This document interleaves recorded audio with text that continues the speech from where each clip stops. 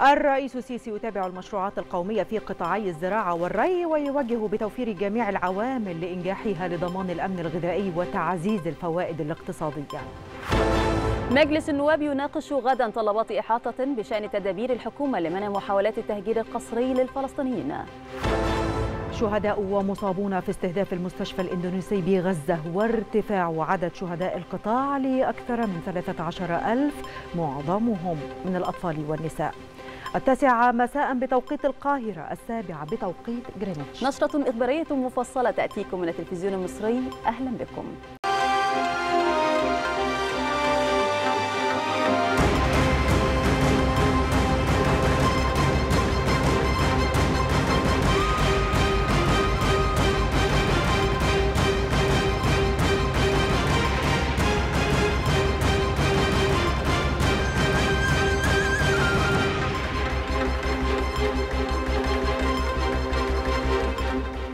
أهلا بحضراتكم. وجه الرئيس عبد الفتاح السيسي بتوفير جميع العوامل الداعمة لنجاح المشروعات القومية ومواصلة العمل والتنسيق المكثف للانتهاء من المشروعات الكبرى في قطاعات الزراعة والري والإنتاج الزراعي والغذائي. وخلال اجتماع لمتابعة تطورات المشروعات القومية في قطاعي الزراعة والري شدد الرئيس عبد الفتاح السيسي على أن الهدف الأساسي من المشروعات هو الاستجابة لاحتياجات المواطنين من خلال ضمان الأمن الغذائي وتعزيز الفوائد الاقتصادية وتوفير فرص عمل إضافية. عقد السيد الرئيس عبد الفتاح السيسي اجتماعا لمتابعة تطورات المشروعات القومية في قطاعي الزراعة والري على مستوى الجمهورية. بحضور الدكتور مصطفى مدبولي رئيس مجلس الوزراء والسيد السيد القصير وزير الزراعة واستصلاح الأراضي والدكتور هاني سويلم وزير الموارد المائية والري. وصرح المتحدث الرسمي باسم رئاسة الجمهورية المستشار أحمد فهمي أن الاجتماع تناول برامج تحديث القطاع الزراعي في مصر حيث اطلع السيد الرئيس في هذا الصدد على الجهود الوطنية لزيادة حجم وإنتاجية الرقعة الزراعية المصرية وجهود الدولة لمواصلة زيادة إنتاجية الفدان وبالأخص في المحاصيل الاستراتيجية مثل القمح والذرة التي تشهد طفرة في الإنتاجية. إلى جانب زيادة الصادرات الزراعية والغذائية التي تشهد بدورها زيادة مضطردة. كما تابع السيد الرئيس ما تقوم به الدولة في إطار دراسة التراكيب المحصولية والاستفادة منها في العديد من الجوانب من بينها تحديد الاحتياجات المائية وتأطير السياسة المائية الزراعية من حيث كمية المياه والتوقيتات والمناطق الجغرافية. وتابع السيد الرئيس في هذا الإطار المشروعات الوطنية لتعزيز الإدارة المتكاملة للموارد المائية وتطوير نظم الري بما يضمن الاستخدام الرشيد لتلك الموارد ويعظم من الاستفادة من إنتاجية وحدات المياه. وأضاف المتحدث الرسمي أن السيد الرئيس وجه خلال الاجتماع بتوفير جميع العوامل الداعمة لنجاح المشروعات القومية ومواصلة العمل والتنسيق المكثف للانتهاء من هذه المشروعات الكبرى في قطاعات الزراعة والري والإنتاج الزراعي والغذائي والثروة الحيوانية خاصة في ضوء أزمة الغذاء العالمية بما يضمن الحد من تأثيرات تلك الأزمة على المواطنين. مشددا على أن الهدف الأساسي من المشروعات هو الاستجابة لاحتياجات المواطنين من خلال ضمان الأمن الغذائي وتعزيز الفوائد الاقتصادية وتوفير فرص عمل إضافية.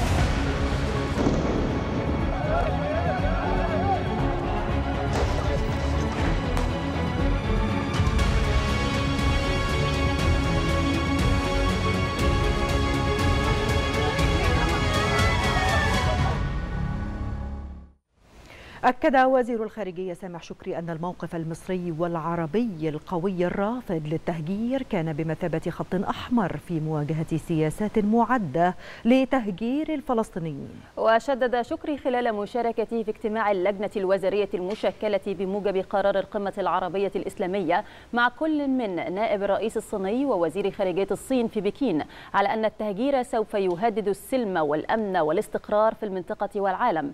كما أكد شكري أن مصر تبذل كل جهد لإدخال المساعدات إلى قطاع غزة عبر معبر رفح. مضيفا أن سياسة إسرائيل في تعطيل دخول المساعدات هي سياسة ممنهجة تستهدف دفع الفلسطينيين لمغادرة القطاع تحت وطأة القصف والحصار.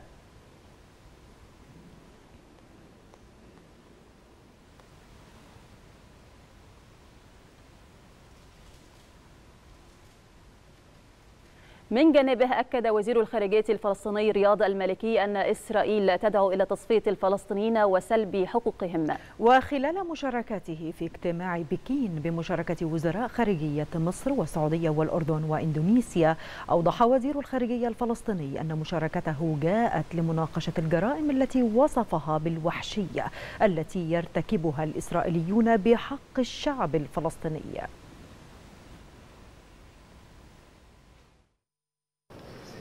جهود دبلوماسية كبيرة تبذلها الدول العربية والإسلامية وفي مقدمتها مصر لإيجاد حل للقضية الفلسطينية في ظل تصاعد مستمر للجرائم الإسرائيلية تجاه الشعب الفلسطيني. وفي أحدث تحرك على الأرض عقد وفد من اللجنة الوزارية المشكلة بموجب قرار القمة العربية الإسلامية اجتماعا مع وزير خارجية الصين وانج يي في بكين في مستهل جولة إلى عواصم عدد من الدول دائمة العضوية بمجلس الأمن بهدف الدفع بمسار وقف الحرب الدائرة في قطاع غزة والتعامل مع الأوضاع الإنسانية المتردية في القطاع. وضم الوفد وزير الخارجية سامح شكري ومسؤولين من السعودية والأردن وإندونيسيا وفلسطين ومنظمة التعاون الإسلامي وآخرين. وخلال اللقاء أكد شكري وجود سياسة كانت معلنة لتهجير الفلسطينيين من غزة مشيرا إلى أن الموقف المصري والعربي القوي الرافض للتهجير كان بمثابة خط أحمر. وشدد شكري على أن التهجير سوف يهدد السلم والأمن والاستقرار في المنطقة والعالم.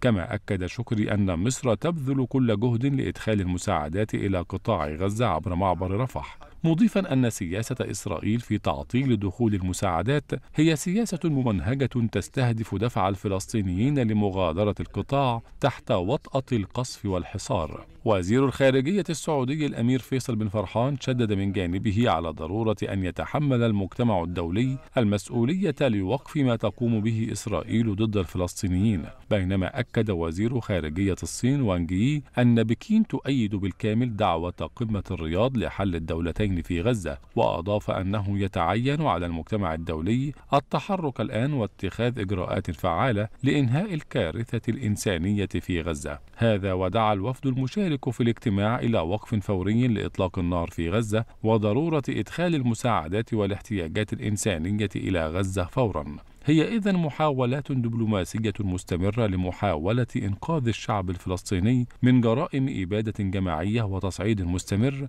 يهدد المنطقة والعالم بحالة غير مسبوقة من عدم الاستقرار. يعقد قادة دول مجموعة بريكس اجتماعا افتراضيا غدا لبحث التصعيد في الشرق الأوسط. وأعلنت وسائل أعلام رسمية صينية أن الرئيس شي جين بينغ سيحضر قمة عبر ال video conference وسيلقي كلمة. كما أعلنت الرئاسة الروسية أن الرئيس الروسي فلاديمير بوتين سيشارك في القمة الافتراضية. جدد الرئيس الفلسطيني محمود عباس الرفض القاطع لتهجير الفلسطينيين من قطاع غزة أو من الضفة الغربية بما فيها القدس المحتلة. وخلال لقائه مع رئيس لاتفيا برام الله شدد الرئيس الفلسطيني على أنه لا حل أمنيا أو عسكريا لقطاع غزة وأن غزة هي جزء لا يتجزأ من الدولة الفلسطينية.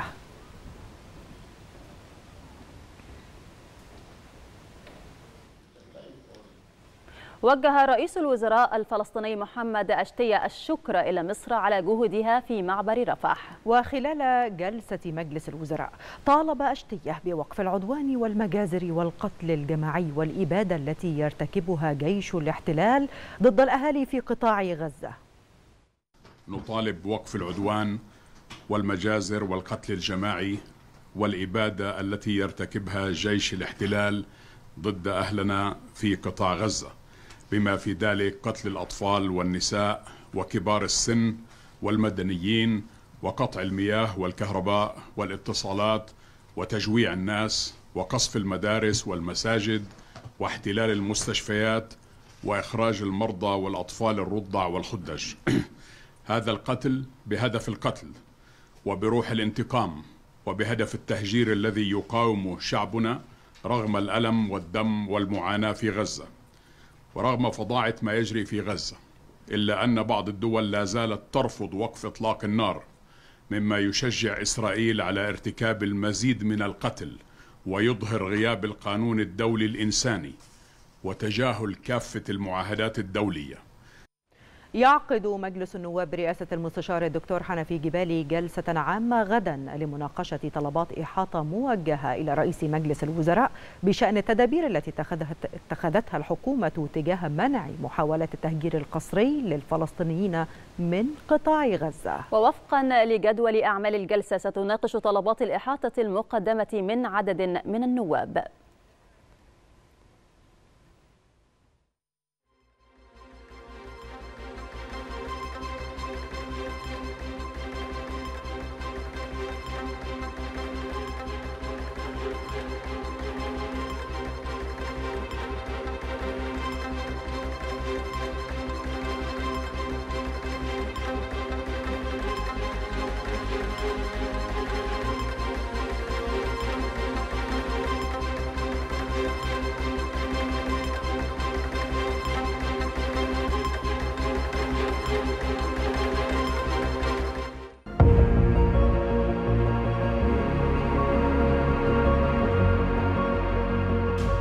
تصفية القضية الفلسطينية دون حل عادل لن يحدث وفي كل الأحوال لن يحدث على حساب مصر أبدا.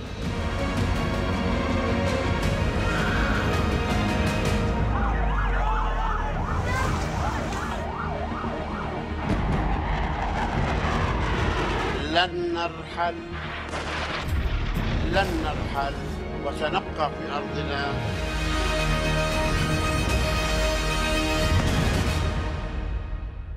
تواصل قوات الاحتلال الإسرائيلي شن غاراتها على مناطق متفرقة من قطاع غزة أسفرت عن استشهاد نحو عشرة وإصابة آخرين. في الأثناء أعلنت السلطات الصحية بقطاع غزة عن استشهاد 12 فلسطينيا جراء غارة إسرائيلية على المستشفى الإندونيسي في شمال قطاع غزة.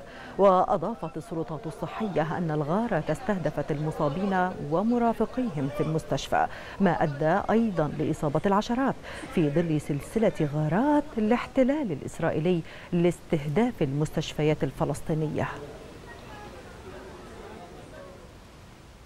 أعلنت وزارة الصحة الفلسطينية عن ارتفاع عدد الشهداء في القطاع إلى 13300 من بينهم ما يقرب من 5600 طفل و 3550 سيدة منذ السابع من أكتوبر. هذا وأكدت الصحة في بيان لها أنها تواجه صعوبات كبيرة في الحصول على معطيات محدثة عن أعداد الضحايا لليوم السابع على التوالي بسبب انقطاع خدمات الاتصالات في قطاع غزة وانهيار الخدمات والاتصالات في مستشفيات شمال القطاع.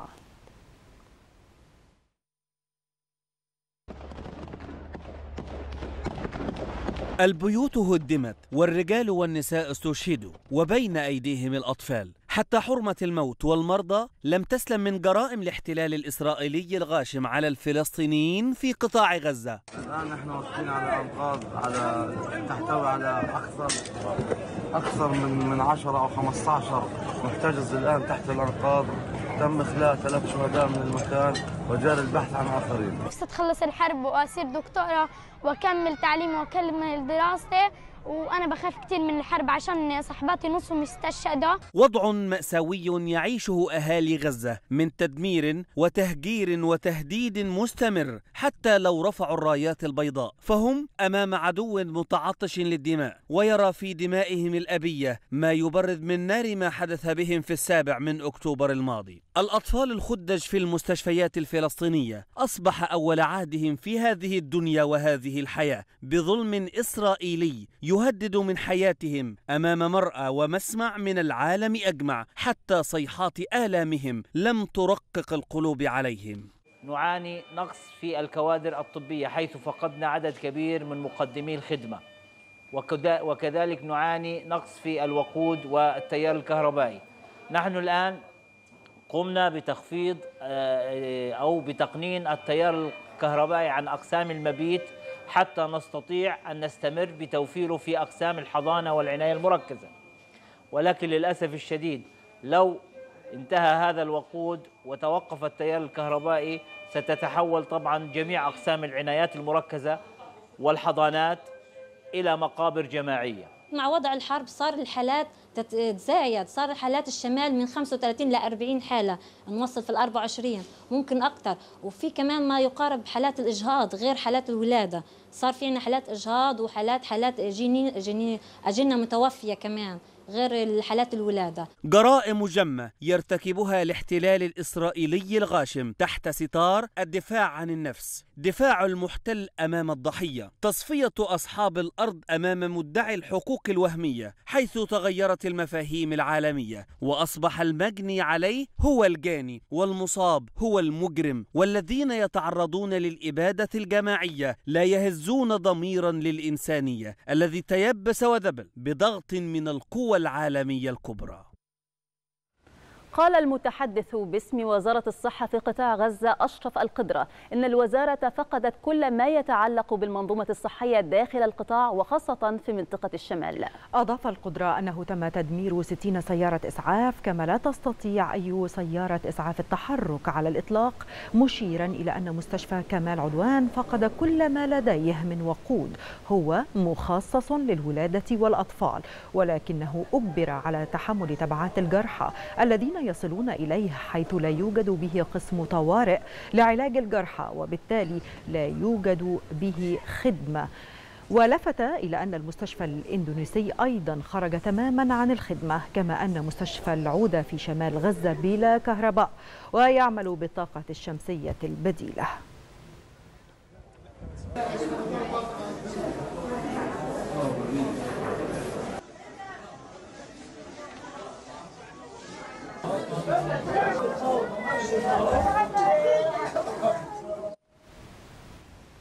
وعودة مشاهدينا الكرام إلى خبر عزم مجلس النواب مناقشة طلبات إحاطة موجهة إلى رئيس مجلس الوزراء بشأن التدابير التي اتخذتها الحكومة تجاه منع محاولات التهجير القسري للفلسطينيين من قطاع غزة. في هذا الشأن ينضم إلينا عبر الهاتف النائب عماد خليل عضو مجلس النواب. أهلا بك معنا سيادة النائب. ما تفاصيل جلسة الغد؟ يعني بكرة إن شاء الله في طلبات أحاطة من عدد 16 نائب من أعضاء مجلس النواب يمثلون كافة التيارات السياسية سواء أغلبية أو معارضة تقريبا يمكن كل القوى السياسية في البرلمان. وده أول استخدام للأدوات الرقابية في دور الانعقاد الرابع وبحضور رئيس الوزراء لبحث كل الآليات والتدابير اللي اتخذتها الحكومة المصرية والقيادة السياسية في منع التهجير القسري للأشقاء الفلسطينيين. نعم، هل هناك خطوات برلمانية مقبلة بشأن القضية الفلسطينية ستقومون بها سيادة النائب؟ أسألك هذا السؤال لأنه ربما يتبادر إلى الذهن سؤال هل هناك اتصال برلماني ما بين حضراتكم وبين برلمانات في دول أخرى خاصة دول أوروبية أو ما شابه لإيصال وجهة النظر العربية لهم بشكل وبتفاصيل برلمانية خاصة أنتم يعني معنيين بها ست النائب يعني تسمعني؟ دعي آه دعيني أقول لحضرتك آه إن آه مجلس النواب ومجلس الشيوخ سبق أن اجريا جلسة استثنائية لدعم القضية الفلسطينية ودعم الأشقاء في فلسطين ورفض آه العدوان الغاشم من دولة الاحتلال الإسرائيلي على قطاع غزة وده كان نتيجة طلب من كتلة تنسيقية شباب الأحزاب وسياسيين داخل المجلسين نتبعها بجلسة الغد وكمان في تحرك للجنة حقوق الإنسان وعدد من اللجان المشتركة في مجلس النواب لرصد كل انتهاكات العدوان الإسرائيلي على قطاع غزة وجرائم الإبادة التي تحدث في القطاع ضد الأبرياء من أشقائنا في فلسطين. لكن أن أخبر حضرتك أن المكتب الإعلامي للحكومة في غزة أصدر بيان يمكن منذ ساعات أن جيش الاحتلال ارتكب أكثر من 1330 مجزرة وعدد المفقودين أكثر من 6000 مفقود إما تحت الأنقاض أو جثمانهم في الشوارع. أما عدد الشهداء فقد وصل ل 13000 شهيد أكثرهم أكثر من 70% منهم من النساء والأطفال. تحديدا 5500 طفل و3500 سيدة فلسطينية. مم. بالإضافة لاستهداف الكوادر الطبية أكثر من 201 طبيب وممرض ومسعف و22 من رجال الدفاع المدني و 60 صحفي آه، فلسطيني. الاعتداء على المساجد والكنائس والمستشفيات في عدوان غاشم وأيضا لاصدار زي ما حضرتك قلتي آه، موقف عربي موحد ضد جرائم الإبادة والجرائم ضد الإنسانية وكمان توجيه آه، تلك الأصوات للدول الغربية التي طالما نادت بحقوق الإنسان. وتقف صامته أمام سلب أهم حق من حقوق الإنسان وهو حق البقاء على الحياة طيب رأينا في الأيام الفائتة كيف يمكن للشارع كيف يمكن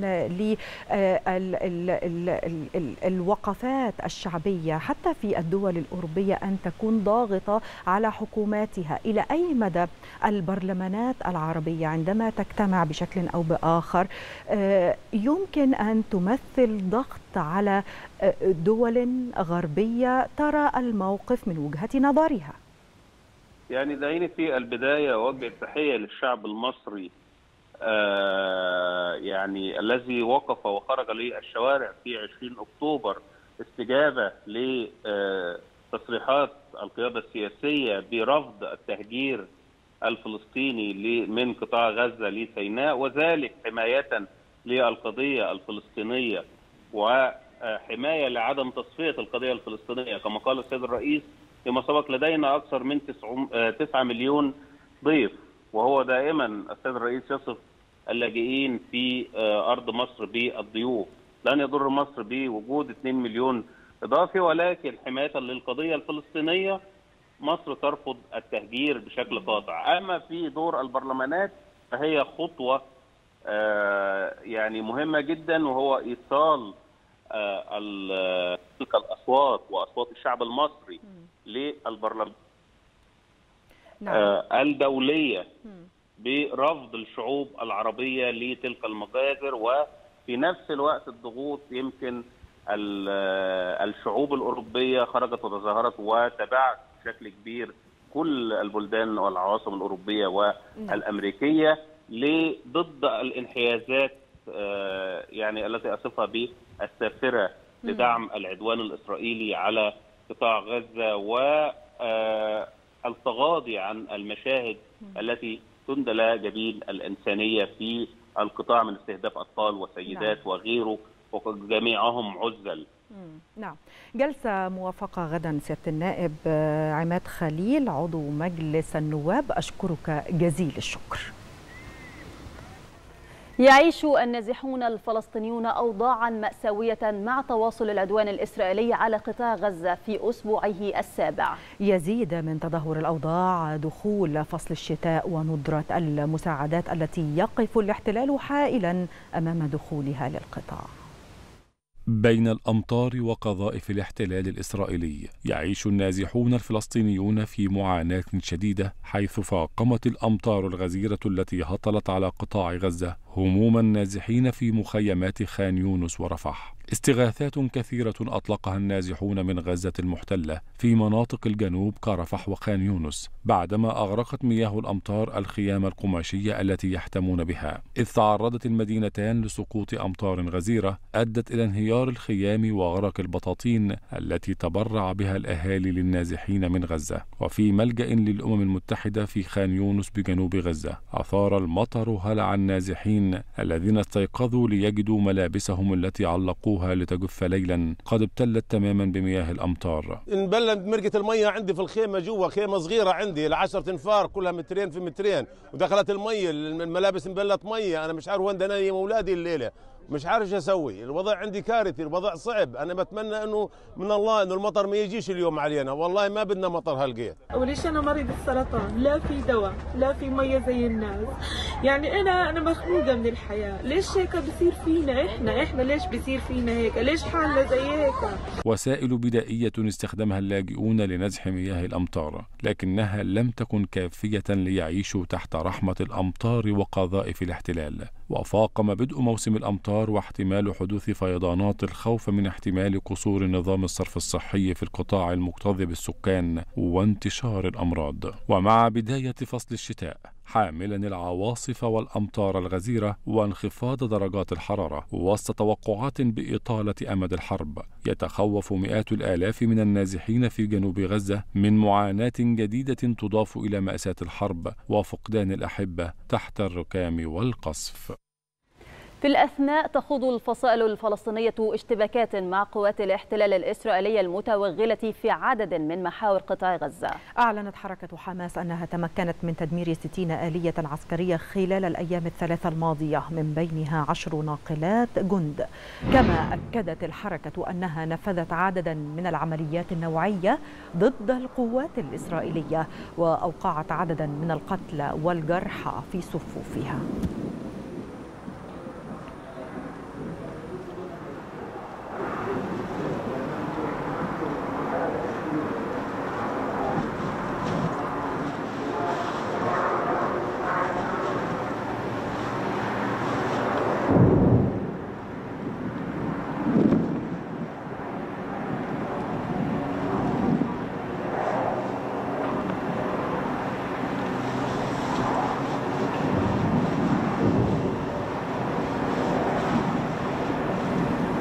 مشاهدينا وكما نتابع الآن هذه مشاهد حية من غارات مكثفة من قبل قوات الاحتلال على قطاع غزة بهذه القنابل المضيئة على قطاع غزة في هذه الأثناء حيث نرى ونسمع دوي هذه القذائف الكبيرة والكثيرة والمكثفة من قبل قوات الاحتلال على قطاع غزة حيث الظلام الدامس كما نرى حاليا والآن ومباشرة من قطاع غزة. وهذا ما تقوم به الآن قوات الاحتلال الإسرائيلي على قطاع غزة من غارات مكثفة بهذه القنابل المضيئة.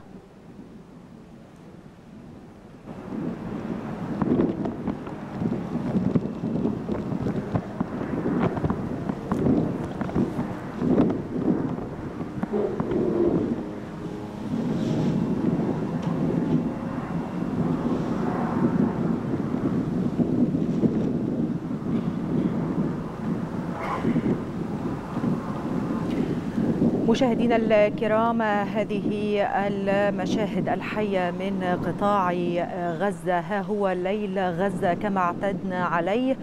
تضاء سماؤه بالقنابل الضوئية التي تضيء سماء غزة كل ليلة كما اعتدنا عليها في الأيام الفائتة. تواصل قوات الاحتلال الإسرائيلي شن غاراتها على مناطق متفرقة من قطاع غزة. بعضها عشوائي بعضها يتم استهدافه بقصد. هذه الغارات أسفرت عن استشهاد نحو عشرة آلاف وأكثر وإصابة آخرين. في هذا المشهد الذي نراه واعتدنا عليه كل ليلة يتم إصابة الكثير من الفلسطينيين في قطاع غزة الذين يفرون من هنا وهناك خوفا من هذه الرشقات الصاروخية التي تهدم المنازل التي تهدم كل ما هو حي في غزة البشر والحجر.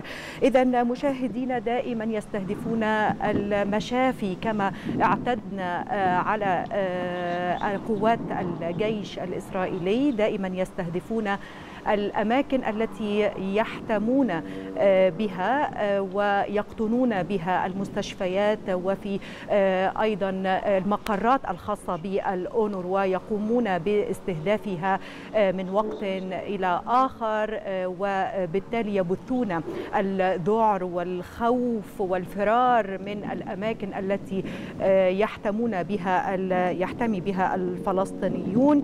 المستشفيات الفلسطينية هي هدف مقرات الأونر وهي هدف. كل حي في غزة هو هدف. وللأسف أعداد الشهداء يزداد يوما بل كل لحظة يزداد فيها عدد الشهداء. يزداد بالتأكيد المصابون في قطاع غزة والذين لا يجدون المستشفيات التي هي في الخدمة نظرا لانقطاع الطاقة وانقطاع كل ما هو يبعث على الحياة في قطاع غزة.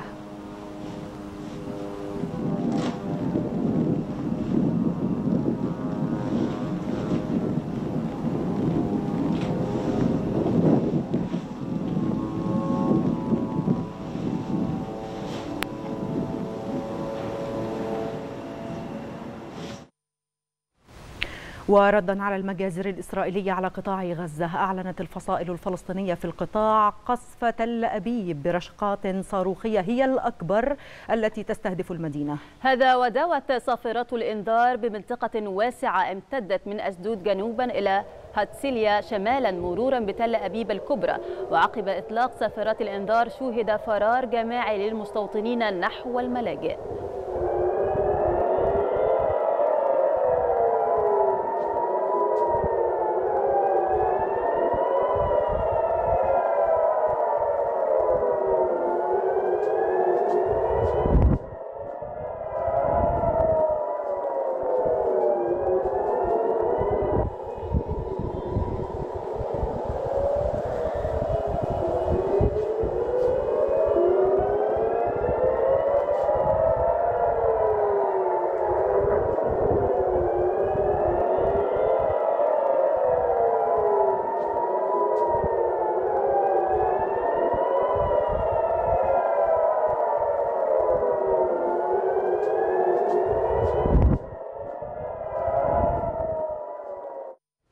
وإلى لبنان حيث أعلن حزب الله عن استهداف تجمعات لجنود في شمال إسرائيل بطيارات مسيرة هجومية ومدفعية في إطار قصف طال مواقع عسكرية قرب الحدود بين البلدين. أوضح حزب الله أن مقاتلي هاجموا بواسطة ثلاث مسيرات هجومية مراكز تجمع جنود إسرائيليين غرب مدينة كريات شمون شمونة.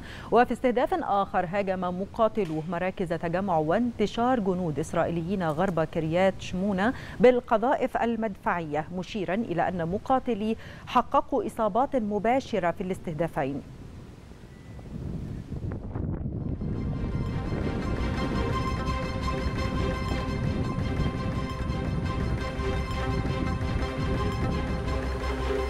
نشرتنا متواصلة نتابع فيها. مرشحو الانتخابات الرئاسية يواصلون حملتهم الانتخابية اليوم الثاني عشر على التوالي.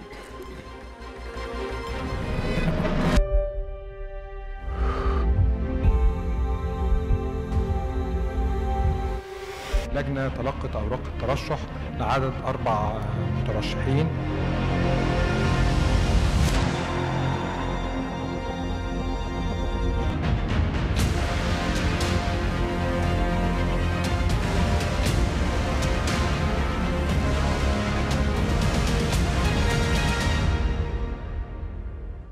أكدت وزيرة الهجرة سهى جندي ثقتها في حرص المصريين بالخارج على المشاركة الإيجابية لاختيار رئيس مصر المقبل. وخلال لقائها مع أبناء الجالية المصرية في جدة بالسعودية ضمن حملة شارك بصوتك أوضحت وزيرة الهجرة أن الحكومة تسعى إلى التحدث مع جميع الجاليات بالخارج بالتنسيق مع الهيئة الوطنية للانتخابات ووزارة الخارجية لتعريف المصريين بآليات الانتخاب ومقار التصويت والتي تنتشر في 138 مقرا انتخابيا بالخارج في القنصليات والسفارات المصرية.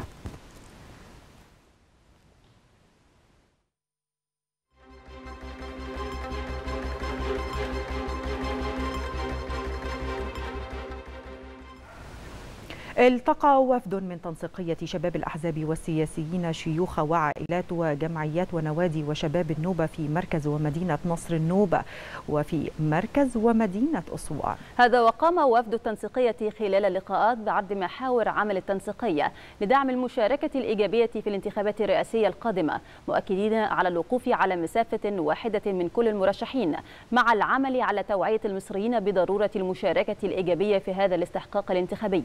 من جانب عرض أبناء النوبة تطلعاتهم من الرئيس القادم ومقترحاتهم لتنمية قرى النوبة واستكمال تحديث خدمات البنية التحتية من طرق مؤهلة وصرف صحي بجانب مقترحات تطوير التعليم والخدمات الصحية.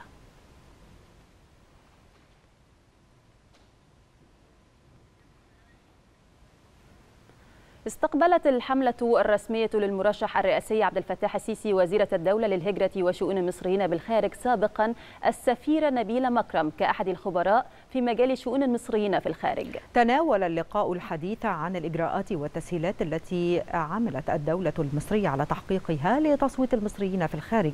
كما تناول الحديث الإنجازات التي حققتها الدولة في ملف المصريين في الخارج فضلا عن الحديث عن عدد من التحديات التي تواجههم. من بينها بعض مقرات الاقتراع وغيرها.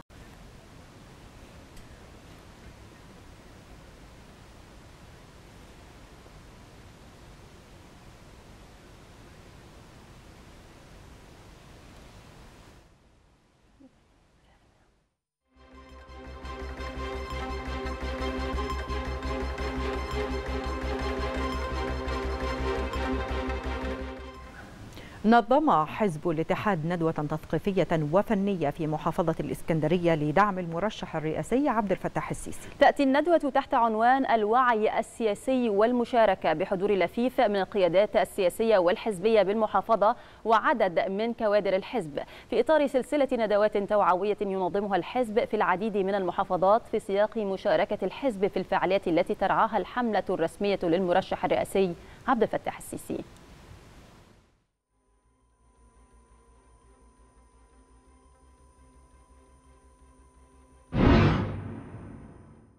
عنوان أو عنوان لقائنا النهارده هو الندوة التثقيفية للمشاركة السياسية. بندعو بيها أطياف الشعب السكندري ويمكن عنوان الندوة الإسكندرية تنتخب الرئيس. عنوان اخترناه لأن فعلا عايزين الاسكندريه تبقى مشاركة إيجابية فعالة. النهارده بنتكلم عن المشاركة السياسية للمرأة بنتكلم عن القيادة السياسية الرئيس عبد الفتاح السيسي إزاي كان داعم قوي للمرأة في الفترة الأخيرة.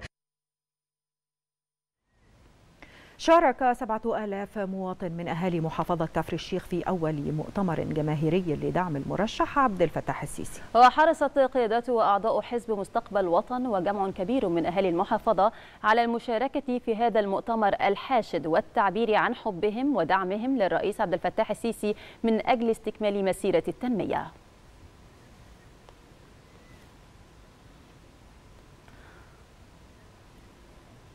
نظم حزب مستقبل وطن مؤتمرا جماهيريا لدعم وتأييد الرئيس عبد الفتاح السيسي في الزقازيق بالشرقية. شهد المؤتمر مشاركة خمسة ألاف مواطن فضلا عن عدد من التنفيذيين وكافة أعضاء الهيئة البرلمانية عن المحافظة وممثلين عن حياة كريمة وتنسيقية شباب الأحزاب والسياسيين. يواصل المرشحون للانتخابات الرئاسية حملاتهم الانتخابية لليوم الثاني عشر على التوالي كممارسة الدعاية الانتخابية بكافة أشكالها لاستعراض برامجهم الانتخابية. وكانت الهيئة الوطنية للانتخابات قد أعلنت في التاسع من نوفمبر الجاري القائمة النهائية للمرشحين والتي تستمر حتى يوم التاسع والعشرين من نوفمبر للمصريين في الخارج ويوم الثامن من ديسمبر لمن هم في الداخل.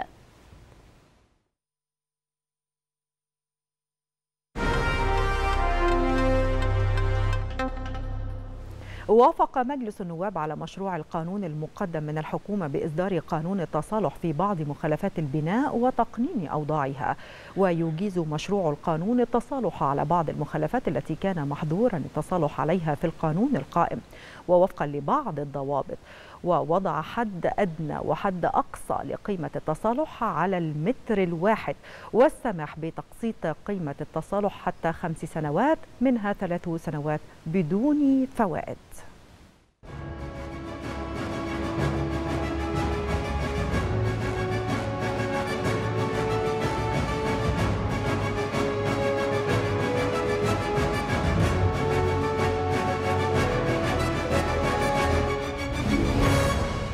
جلسة جديدة عقدها مجلس النواب برئاسة المستشار الدكتور حنفي جبالي لمناقشة الملفات المدرجة على جدول أعماله. خلال الجلسة تمت الموافقة بشكل نهائي على مجموع مواد مشروع قانون مقدم من الحكومة بإصدار قانون التصالح في بعض مخالفات البناء وتقنين أوضاعها، فضلا عن مشروعي قانونين مقدمين من عدد من الأعضاء في ذات الموضوع. وأكد عدد من النواب خلال المناقشات أن مشروع القانون في صورته النهائية أحدث توازنا دقيقا بين الحفاظ على هيبة الدولة وقوانينها التي تنظم البناء وتحافظ على الثروة العقارية والمصالح الخاصة لملايين المواطنين. أنا بعتبر أن هذا المشروع يحتوي على ما لا يقل من 15 ميزة للتصالح في بعض مخالفات البناء وتقنين أوضاعها.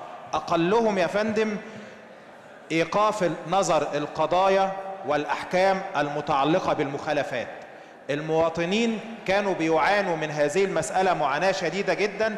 فالمشروع اللي أمام منظور أمام حضرات حضراتكم الآن يحل هذه المشكلة المشكلة. أنه فور تقديم طلب التصالح بيمنح المواطن إفادة تتوقف فيها نظر القضايا. تلا ذلك الموافقة نهائيا على مشروع القانون المقدم من الحكومة بتعديل بعض أحكام قانون الطفل والذي يهدف إلى تغليظ عقوبة بعض المخالفات لأحكام قانون الطفل وكذلك تجريم بعض الصور الجديدة التي أفرزها الواقع العملي. كما تمت الموافقة على تقرير بشأن الخطابات المتبادلة بين مصر ووكالة اليابان للتعاون الدولي جايكا لتنفيذ مشروع المرحلة الأولى من الخط الرابع لمترو أنفاق القاهرة الكبرى الشريحة الثالثة. فضلا عن الموافقة على اتفاقية التسهيلات الائتمانية بين مصر وشركة TMH International LLC لتوريد 1300 عربة سكة حديد طرازات مختلفة. وأقول إن دي اتفاقية محترمة جدا لتيسير الحياة اليومية لمشاكل المواطنين وخاصة في القاهرة الكبرى. يعني هذه الاتفاقية بتحل مشاكل مرورية لأكثر من 2 مليون راكب يوميا. كما أحال المجلس خلال الجلسة تقرير لجنة الشؤون الدستورية والتشريعية عن طريقة إقرار الموافقة على مسودة اتفاقية منحة بحد أقصى عالمي يبلغ نحو 56.7 مليون يورو لتطوير ساعات تخزين صوامع القمح من الوكالة الفرنسية للتنمية إلى لجنة مشتركة من الشؤون الاقتصادية وهيئات مكاتب الخارجية والزراعة لدراسته وإعداد تقرير. تقرير بشأنه.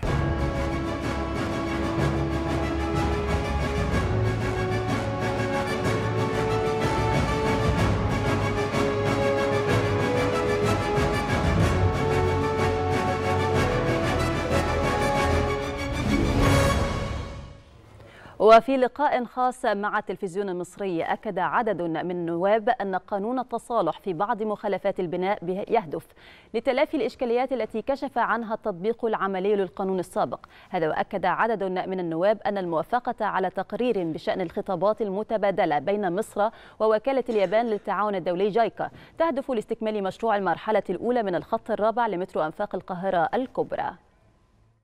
قانون من الأهمية لأنه بينتظروا 2 مليون و800 ألف طلب اتقدموا في وجهة نظري يمثلوا ما لا يقل عن 40 مليون مواطن. فالناس كتيرة أو نص المصريين مستنين هذا القانون عشان يقفلوا صفحة المخالفات ويبتدوا صفحة جديدة بعيدا عن القضايا اللي على بعض الناس والأحكام اللي على بعض الناس والغرامات وهكذا. وده هيقفل صفحة كبيرة لناس كتيرة إن شاء الله. اتفاقيتين النهارده مرتبطين بالخط الرابع. الخط الرابع ده سيادتك اما هيشتغل أول حاجة فترة السماع 10 سنين. فإحنا لو قعدنا نعمل في المشروع ده ثلاث سنوات أو أربع سنوات فأوتوماتيك في ست سنين أو سبع سنين دخلهم لمصر. الحاجة الثانية الوزارة الوحيدة اللي ليها دخل ثابت بيعود على الدولة المصرية. شهد وزير التربية والتعليم رضا حجاز انطلاق فعاليات ندوة دوري ريادة الأعمال على هامش معرض القاهرة الدولي للتكنولوجيا للشرق الأوسط وإفريقيا. يعد المشروع أحدث مشروعات وزارة التربية والتعليم لدعم الأفكار الخاصة بريادة الأعمال لدى الطلاب حيث بدأ المشروع بانطلاق أولمبيات مدارس مصر بمحافظة السويس ليتم إطلاقه على نطاق أوسع خلال الفترة القادمة. أنا كنت جاية هنا أتكلم عن أولمبياد مدارس مصر وهي النسخة اللي تطور منها وهيتعمل منها بعد كده دوري ريادة الأعمال. أنا كنت مشاركة في النسخة اللي فاتت اللي كانت عبارة عن فريق معارف وفريق مشروعات اللي هو بعد كده هيبقى مسابقة بس لريادة الأعمال. هو مهم بالنسبة لنا جدا هو أثر فينا كتير. إحنا اكتشفنا إن إحنا ممكن نفكر في حاجات إحنا ما كناش متخيلين إن إحنا نقدر نعمل كده. شكرا لدوري ريادة الأعمال إن هو خلانا نعرف إن إحنا عندنا الإمكانيات دي وعندنا الأفكار دي. تواصل الدولة بذل جهود كبيرة للارتقاء بمجالات التصنيع المحلي وتوطين الصناعات. واتجهت صناعات متنوعة خلال الفترة الأخيرة نحو التصنيع الصديق للبيئة تماشيا مع الاتجاه العالمي وسياسة مصر ضمن رؤية 2030 مميزات عديدة يتفرد بها المنتج الصديق للبيئة من بينها أنه لا يضر الطبيعة أو البيئة أو صحة الإنسان والحيوان إضافة إلى تصنيعه من مكونات طبيعية. من تلك المصانع التي اتجهت في الآونة الأخيرة لتصنيع منتجات صديقة للبيئة يأتي مصنع Fox Plus لشنط الدعاية بالإسكندرية. ويتميز المصنع بإنتاج شنط صديقة للبيئة كهدف أساسي وتماشيا مع السياسة العالمية وسياسة الدولة المصرية. ورؤية مصر 2030 الهدف من إحنا دخلنا في المنتجات دي يعني تماشيا مع السياسة العالمية وسياسة الدولة آه، عشان حفاظ على البيئة يعني وكده. ده هدفنا الرئيسي. عندنا عدة منتجات يعني المصنع وكده. من ضمنها شنط الدعاية لجميع البراندات آه، مصانع الملابس برضو بيستخدموا منتجاتنا. عملاء كتير جدا يعني بيستخدموا منتجاتنا. آه، فكرنا في الموضوع ده عن طريق التنميه الصناعية عرضوا طرح في مجمع مرغم. وإحنا كنا من اوائل الناس يعني اللي إحنا دخلنا في الطرح ده وكان الحمد لله كان لينا نصيب ان إحنا حصلنا على الوحدتين دول يعني وبدأنا شغل يعني. فكرة المصنع الذي يقوم بإنتاج الشنط لماركات كبيرة نشأت عن طريق هيئة التنمية الصناعية بعد عرضهم لطرح في منطقة مرغم غرب الإسكندرية وتم تخصيص مكان للمصنع وبالفعل بدأ العمل. ويخضع المنتج الصديق للبيئة لاختبارات مختلفة لقياس وتحديد أدائه البيئي. فإذا اجتازت المنتجات هذه الاختبارات يحصل على ملصق صديق للبيئة. وبرغم العديد من المعوقات التي تواجه هذا النوع من المصنوعات كالتمويل إلا أن أجهزة تنمية المشروعات وفرت التمويل وأزالت تلك المعوقات ليبدأ خط الإنتاج الذي سيليه خط إنتاج آخر لمنتجات تقلل من توليد النفايات وتحافظ على طاقة كوكب الأرض التي صارت هي الهدف الاستراتيجي الذي تدعمه الدولة وتذلل من أجله كافة الصعوبات لأجل نظام بيئي مثالي للأجيال القادمة. مشاهدينا والآن وقفة مع أخبار المال والأعمال في جولة التاسعة. رجائي رمزي يحمل لنا تفاصيل أخبار الاقتصاد. أهلا بك رجائي أهلا بك نهى أهلا بك فاطمة. مشاهدينا أخبار المال والأعمال نتابعها وإياكم في هذه الجولة الاقتصادية.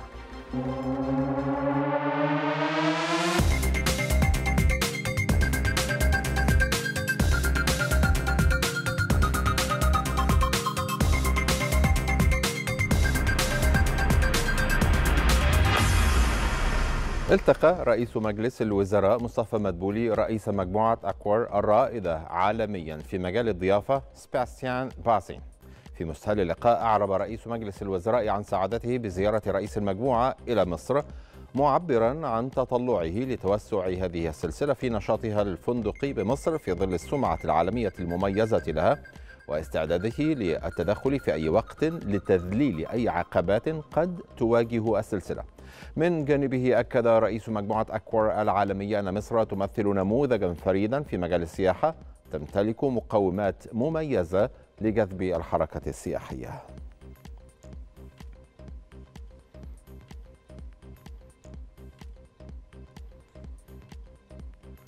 وقع البنكان المركزيان في الصين والسعودية اتفاقا لمبادلة العملات المحلية بقيمة 50 مليار يوان أي بنحو 6 مليار و93 مليون دولار. قال البنك المركزي الصيني في بيان له أن الاتفاق الذي سيسري لثلاث سنوات قابلة للتمديد بموافقة الجانبين سيساعد على تعزيز التعاون المالي ما بين البلدين والتوسع في استخدام العملات المحلية وتعزيز التجارة والاستثمار ما بين الرياض وبكين.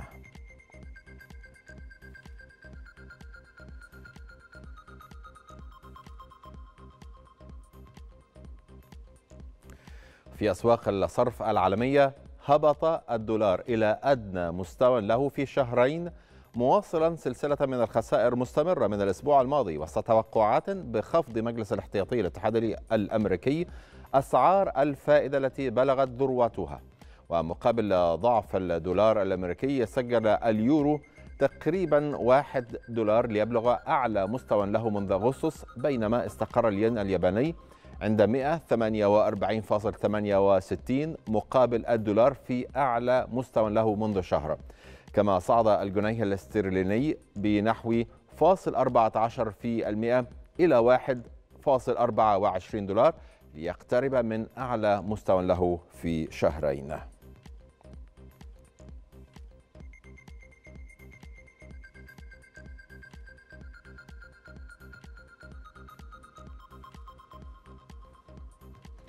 وإلى أسواق البترول العالمية ارتفعت العقود الآجلة للنفط لتواصل مكاسبها بناء على توقعات بتخفيض مجموعة أوبك بلس الإمدادات على نحو أكبر لدعم الأسعار التي تشهد تراجعا منذ أربعة أسابيع بفعل انحسار المخاوف من تعطل إمدادات الشرق الأوسط بسبب الصراع في غزة.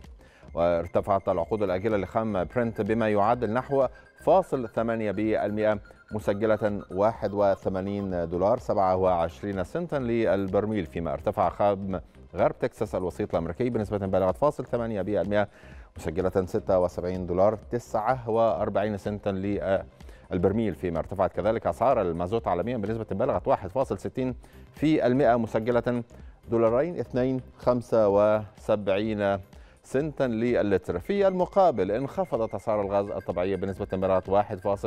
52 في المئة مسجلة دولارين 2 92 سنتا وذلك لكل مليون وحدة حرارية بريطانية أظهرت بيانات بيانات حكومية ارتفاع مؤشر أسعار المستهلكين في الكويت بنسبة بلغت فاصل 38% وذلك خلال شهر أكتوبر على أساس شهري من بين أبرز المجموعات السلعية ارتفعت مجموعة الكساء والملابس بنسبة بلغت 6. 98% على أساس سنوي بينما سجلت أسعار مجموعة الأغذية والمشروبات ارتفاعا بنسبة بلغت 5.71% زادت أسعار مجموعة السلع والخدمات المتنوعة بنسبة بلغت 4.23% في المئة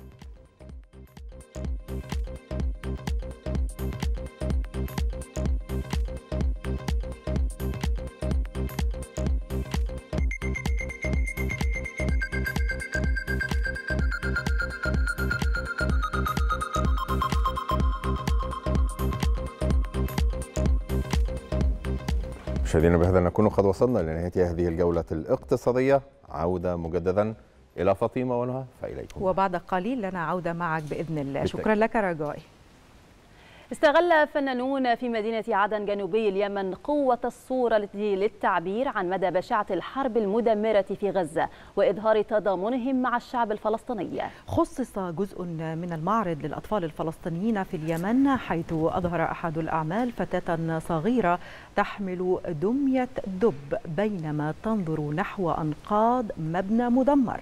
وناقش الفنانون اليمنيون أعمالهم مع زوار المعرض بينما قدم فنانون فلسطينيون مساهماتهم في المعرض عن بعد.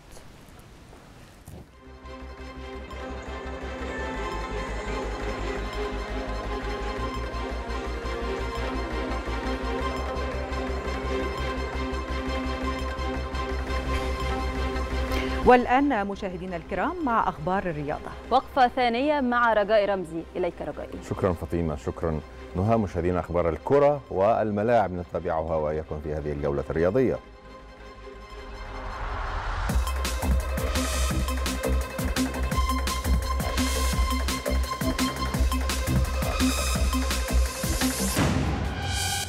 أعلنت رابطة اللاعبين المحترفين للسكواش عن التصنيف العالمي للاعبين خلال شهر نوفمبر الجاري وصل علي فرج تصدر التصنيف العالمي للسكواش بعد تتويجه ببطولة سنغافورة.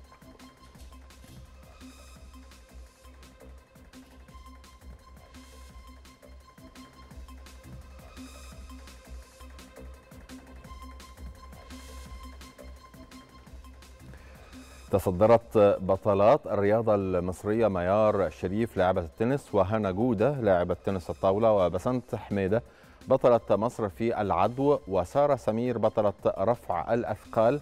تصدرن تصنيف قائمة فوربس الشرق الأوسط تحت سن الثلاثين عام للعام 2023 تسلط هذه القائمة الضوء على المبدعين الشباب في المنطقة دون سن الثلاثين ممن يحدثون تأثيرا في مختلف القطاعات ذلك في النسخة السادسة من القائمة التي كشفت عنها مجلة فوربس.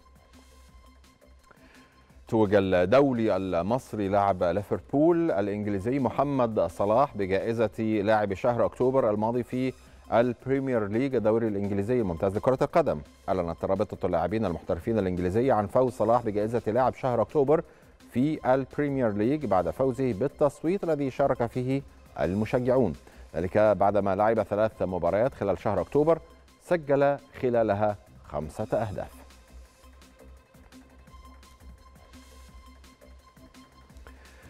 أعلن نادي برشلونة الأسباني عن أن الفحوصات الطبية أكدت إصابة لاعب الوسط جافي بتمزق كامل في الرباط الصليبي الذي تعرض له خلال مشاركته مع المنتخب الإسباني أمام منتخب جورجيا بالتصفيات المؤهلة لأمم أوروبا 2024 وأوضح برشلونة أن جافي سيخضع لعملية جراحية في الأيام المقبلة حيث سيتم بعدها إصدار تحديث طبي جديد.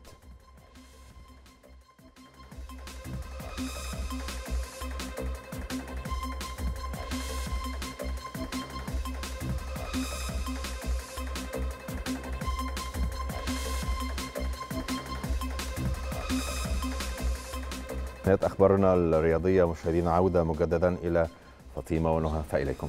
شكرا رجائي على هذه الوقفة الرياضية.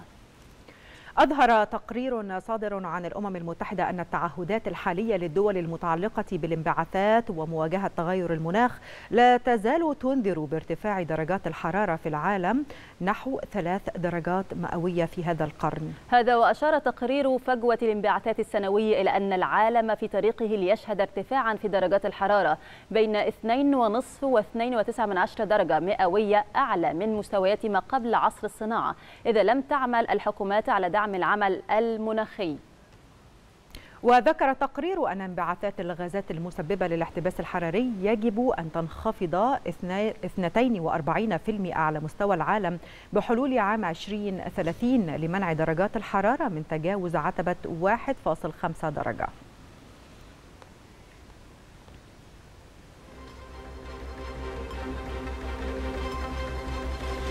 مشاهدينا والآن وقفة أخيرة مع أحوال الطقس. الآن رجائي يرصد لنا أخبار الطقس ماذا عن طقس الغد رجائي؟ الكثير والكثير تفضل. سنتابعه وإياكم مشاهدينا في هذه الجولة الجوية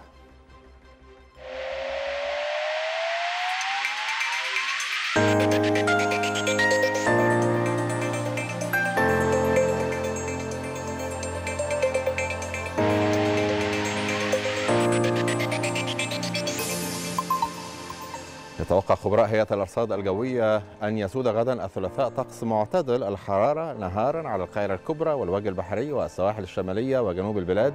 ماء للحرارة على جنوب سيناء يسود ليلا طقس ماء للبرودة على أغلب الأنحاء فيما يلي مشاهدينا بيان بدرجات الحرارة المتوقعة غدا على محافظات ومدن الجمهورية. نبدأها بمحافظة القاهرة العظمى فيها 25 الصغرى فيها 18 جو معتدل. الإسكندرية 25 17 مطروح 25 15 بورسعيد 24 17 الإسماعيلية 25 18 اما محافظة السويس العظمى فيها 26 الصغرى فيها 18 العريش 25 17 طابة 23 20 شرم الشيخ 29 20 الغردقة 28 19 محافظة الأقصر العظمى فيها 27 الصغرى فيها 17 جو معتدل أسوان 27 17 الوادي الجديد 26 15 شلاتين 28 22 أما محافظة حلايب فالعظمى فيها 27 والصغرى فيها 22 والآن نستعرض وإياكم درجات الحرارة المتوقعة غدا في عدد من العواصم والمدن العربية والعالمية. نتابع.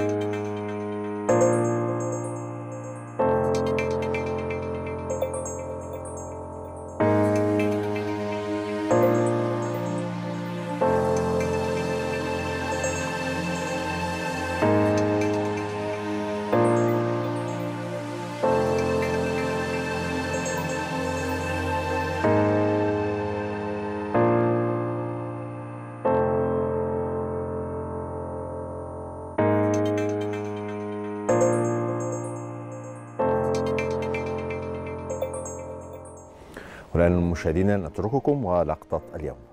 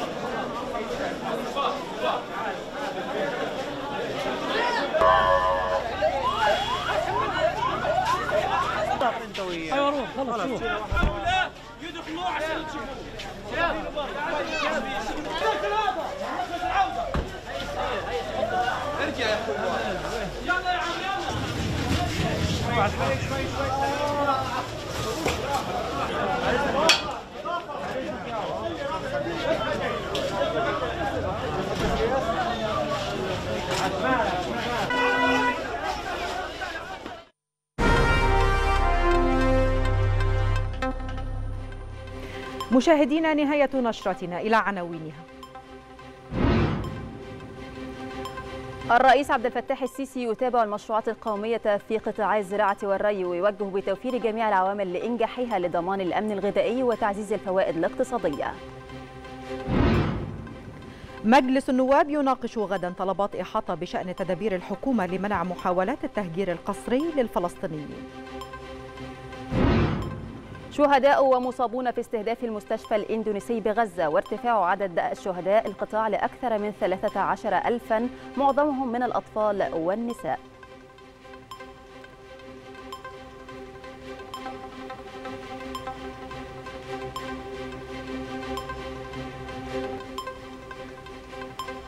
مشاهدينا وصلنا وإياكم إلى ختام هذه الجولة الإخبارية من التلفزيون المصري. لكن هواء التاسعه ما زال مستمرا مع الإعلامي والزميل يوسف الحسيني. مساء الخير يوسف. ازيك يا فاطمة؟ ازيك يا نهى. عاملين إيه؟ كله تمام, الحمد لله. عايزين عايزين نقعد ندعي لبلدنا دعوتين من القلب كده لأن المسائل زي ما أنتم شايفين صعبة جدا. إحنا كل ما نيجي يعني نشد حيلنا حبة نهم حبة نلاقي مشكلة زي الحرب الدائرة الآن وبالرغم من ذلك نجد إنه فخامة الرئيس عبد الفتاح السيسي ما بين إدارة عملية السلام علشان صحيح. نقدر نخلي هناك وضع مستقر في فلسطين وما بين إدارة البلاد واقتصادها أكيد. وما يعني حاجة والانتخابات آه حقيقي يعني ملفات آه، كثيرة يوسف. آه، بكرة إن شاء الله أنا عارفة أنك معني بالموضوع ده. كان في من عناوين الأخبار. مجلس النواب يناقش آه، غدا طلبات إحاطة بشأن تدابير الحكومة لمنع محاولات التهجير القسري للفلسطينيين. يمكن كان معانا تليفون في النشرة وسألت ضيفي كان عضو في مجلس النواب. إلى أي مدى ترى يمكن للبرلمانات العربية أن تقوم بضغط على البرلمانات الأوروبية وكل من آه، آه، يعني هو يرى هذه القضية من وجهة نظر مغايرة عن الحقيقة. أسألك نفس السؤال طبعا كعضو مجلس نواب أنت معني بذلك. ربنا يخليك يا رب. هقول لك حاجة عشان عندي وجهة نظر في ده. هل البرلمانات العربية بما فيها البرلمان المصري محتاجين يشكلوا ضغط على البرلمانات ال- الأوروبية بالتحديد؟ لا لأنه تخطينا خلاص المرحلة دي. ده كان ممكن يبقى مهم جدا في بداية الحرب لكن الحقيقة إنه. كما جرت العادة إنه آه، فخامة الرئيس وده بجد اللي حصل استبق كل ده يعني هو مارس الضغوط اللي كان المفروض كل المؤسسات المصرية تقوم بها بما فيها المؤسسة البرلمانية المصرية نواب كانت أو شيوخ استخدم حيويته وقوته كرئيس للجمهورية مارس ما يطلق عليه الدبلوماسية الرئاسية وضغط بالفعل مباشرة على الأنظمة الغربية. إحنا بنتكلم صحيح. على آه، رؤساء زي ما اتكلم مع ماكرون زي ما اتكلم مع اولف شولز زي ما اتكلم مع رئيس وزراء إيطاليا زي ما اتكلم مع الأسبان مع البريطانيين لما جاله هنا رئيس الوزراء البريطاني إلى آخره. فما أصبحناش في احتياج سياسي لضغط برلماني عربي على الأوروبيين. إحنا مشكلتنا دلوقتي مع الأمريكان. مم. الأمريكان هم اللي بيديروا مش عملية السلام زي ما بيتكلموا الأمريكان بيديروا الصراع في المنطقة. صحيح. الأمريكان بيديروا الحرب. الأمريكان بيعتبروا إن دي حربهم مش حرب إسرائيل على الإطلاق بيعتبروا إن دي حربهم. فأنا بشوف يمكن يكون تقديري خاطئ اللي بشوفه إنه اللعبة كلها دلوقتي على رأي السادات الله يرحمه يعني 99% من أوراق اللعبة في إيد أمريكا. مم. الرجل كان محق رحمة الله عليه. الوضع دلوقتي كله في إيد الأمريكان.